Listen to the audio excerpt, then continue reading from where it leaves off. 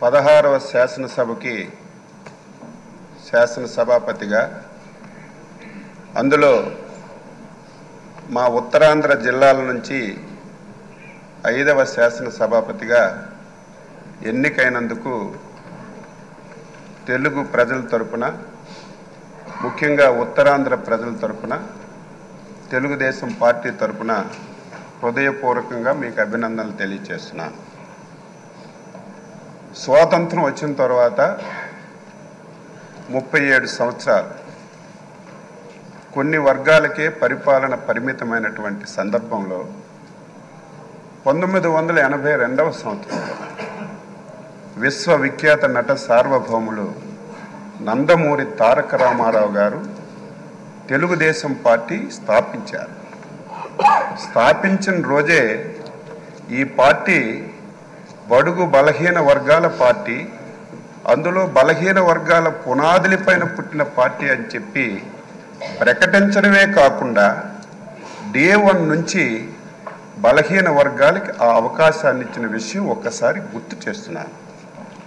అందులో భాగంగానే బలహీన వర్గాలకు చెందినటువంటి అయ్యన్న పాత్రుడు గారు అతి చిన్న వయసులోనే శాసనసభకి అవకాశం ఇచ్చినటువంటి నాయకుడు ఎన్టీ రామారావు గారు తెలుగుదేశం పార్టీ అని చెప్పి బలహీన వర్గాల వ్యక్తిగా గర్వంగా చెప్పదలుచుకున్నాను. మీరు నలభై రెండు సంవత్సరాల సుదీర్ఘ రాజకీయ ప్రయాణంలో అనేక పదవులు మీరు చేశారు. కానీ ఒక్క రోజు కూడా ఆ రోజు ఎన్టీ రామారావు గారి మాట కానీ ఈరోజు చంద్రబాబు నాయుడు గారి మాట కానీ జవదాటకుండా పార్టీ ఏ ఆదేశాలు ఇచ్చినా పార్టీ ఏ అవకాశం ఇచ్చినా దానిని సద్వినియోగం చేసుకొని మీరు పాలన అందించారు తప్ప ఇంకొకటి లేదు అని చెప్పి మీకు తెలియజేస్తున్నాను. ఏడు సార్లు ఎమ్మెల్యేగా గెలిచారు నాలుగు సార్లు మంత్రిగా చేశారు. అందులో ఇంకొక విషయాన్ని శాసనసభకు చెప్పాలి. పార్టీ ఆదేశం ప్రతి ఒక్కరికి శిరస వహించాలనేది నా అభిప్రాయం. పంతొమ్మిది వందల తొంభై ఆరులో నాకు బాగా గుర్తు.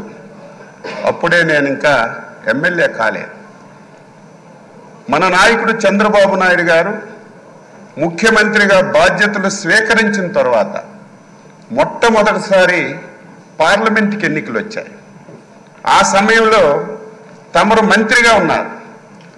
ఆ రోజు అధ్యక్షులుగా ముఖ్యమంత్రిగా చాలామంది మంత్రులకి మీరు ఎంపీలుగా పోటీ చేయండి అని రిక్వెస్ట్ చేస్తే చాలామంది దాన్ని ఒప్పుకోలేదు. మంత్రి పదవి వదిలి వెళ్ళడానికి.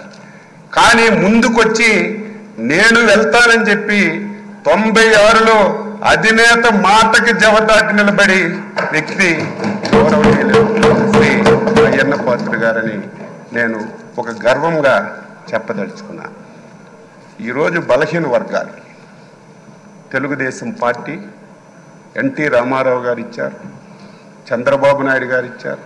ఈరోజు ఎన్డీఏ పార్ట్నర్స్తో సహా ఆ విధానాన్ని కొనసాగిస్తున్నారు. ఈరోజు మీకు శాసనసభాపతిగా ఎన్నుకోవడం ఇది ఒక చరిత్ర.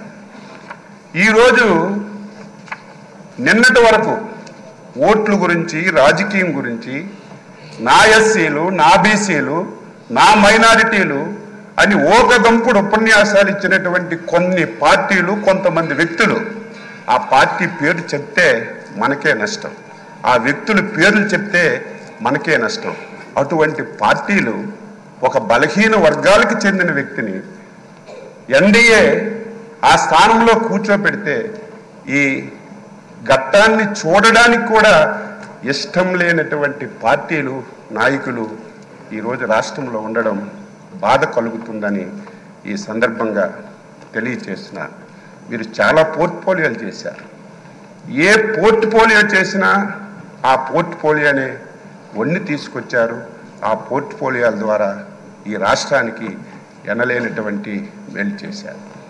గత శాసనసభ ఇప్పుడే మా అధ్యక్షులు వారు పవన్ కళ్యాణ్ గారు లోకేష్ బాబు గారు అందరూ చెప్పారు. ఆంధ్రప్రదేశ్ చరిత్రలో రెండు వేల పంతొమ్మిది ఇరవై నాలుగు శాసనసభ ఒక దుర్మార్గమైనటువంటి సభ. ఆ సభలో నేను కూడా సభ్యుడిగా ఉన్నాను. ఇరవై మూడు మంది ఎమ్మెల్యేలు. మాట్లాడడానికి అవకాశం లేదు. మా వైపు చూడలేదు. చూడకపోయినా మా స్థానాల్లో మేము గౌరవంగా కూర్చున్నా సరే మొత్తం మా దగ్గరికి వచ్చి తల్లిదండ్రుల్ని కుటుంబాలని పర్సనాలిటీని వ్యక్తులని బండబూతులు తిట్టి ఈ సభలోకి ఎందుకు వచ్చాం? రాని వాళ్ళే అదృష్టవంతులని బాధపడినటువంటి రోజులు చెవుట్లో కాటన్ పెట్టుకొని వినలేనటువంటి రోజులు గత శాసనసభలో మేము ప్రత్యక్షంగా చూసాం అధ్యక్ష. ఈరోజు తెలంగాణ ఉద్యమం అద్భుతంగా జరిగింది. కానీ ఎప్పుడు శాసనసభ్యుల మీద భౌతిక దాడులు ఎప్పుడూ జరగలేదు. కానీ గత శాసనసభలో ఒక దళిత శాసనసభ్యుడైనటువంటి ప్రస్తుత మా మంత్రి గారైనటువంటి బాల వీరాంజనాయ స్వామిని సభాపతి స్థానం దగ్గరికి వచ్చి ఆయన పైన భౌతికంగా దాడి చేస్తే ఎంత ఆవేదన చెందాం ఎంత బాధ చెందాం. ఆంధ్రప్రదేశ్ రాష్ట్రానికి దేశానికి ఒక రోల్ మోడల్. ఇటువంటి ఆంధ్రప్రదేశ్ శాసనసభలో ఇటువంటి సంఘటనలు జరగడం అది మా కళ్ళతో మేము చూడడం చాలా బాధ ఆవేదన కలిగింది. ఏది ఏమైనా ఒక అనుభవజ్ఞైనటువంటి వ్యక్తి ఈ రోజు వరకు మీ అవతారం ఒకటి ఈ రోజు నుంచి మీ అవతారం మార్చాలి. ఎందుకంటే రాజకీయాలు చేసేటప్పుడు పదునైన మాటలు మాట్లాడాలి. ప్రతి ఒక్కరు విమర్శించేటప్పుడు వారికి సమాధానం చెప్పాలి. కానీ ఈ రోజు నుంచి మీరు శాసన సభాపతి నా కోరిక నా ఆశయం బలహీన వర్గాల తరపున మీకు కోరుతున్నాను. ఈ సభ రెండు వేల ఇరవై నాలుగు ఇరవై తొమ్మిది శాసనసభ మా బలహీన వర్గాలకు చెందినటువంటి చింతకాయల అయ్యన్న పాత్ర గారి నాయకత్వంలో ఒక దేశానికి ఒక రోల్ మోడల్గా ఈ సభ ఉండాలి. ఇది ప్రతి ఒక్కరూ చెప్పుకునే విధంగా మనందరం కూడా ప్రవర్తించాలి. దాదాపుగా డెబ్బై ఎనిమిది మంది నాకు సరిగా ఇంక తెలియదు మొదటిసారి శాసనసభ్యులుగా. ఎనభై ఎనిమిది ఎనభై ఎనిమిది మంది. కొంతమంది ఒకసారి రెండు సార్లు అయ్యారు నేను కూడా ఆరు సార్లు శాసనసభగా ఎన్నికయ్యే అవకాశం మా నాయకులు శ్రీ నారా చంద్రబాబు నాయుడు గారు ఇచ్చారు. ఆయన ఎప్పుడైతే ముఖ్యమంత్రిగా బాధ్యతలు స్వీకరించారో అప్పుడే నేను ఎమ్మెల్యే అయ్యాను నేను కూడా సభ్యులందరికీ కోరుతున్నాను. ఎవరమైనా సరే కొంతమంది వ్యక్తులు పేర్లు ఈ శాసనసభలో వినడానికి వీలు లేదు. పార్టీలు పేర్లు అక్కర్లేదు. ఎవరు ఏది చెప్పినా స్వచ్ఛంగా మనం సమాధానం ఇద్దాం. రాష్ట్ర ప్రయోజనాల గురించి పనిచేద్దాం. ఈ పార్టీ మీద ఒక అచంచలమైన విశ్వాసంతో ఎన్డీఏ మీద ఒక అచంచలమైనటువంటి ఒక నమ్మకంతో ఒక మ్యాండేట్ ఇచ్చారు.